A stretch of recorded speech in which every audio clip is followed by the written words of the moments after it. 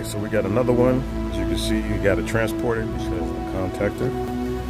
Because the bike has an issue cutting off. So they thought it was the controller. So we have to do some modification to the holes to get the uh, screw to fit in flush. So we had drilled. So you guys seen this bike. Was it running when it came in? Definitely running now. Contactor was installed. Contact is there. Controller's there. Wheels there. There's the throttle.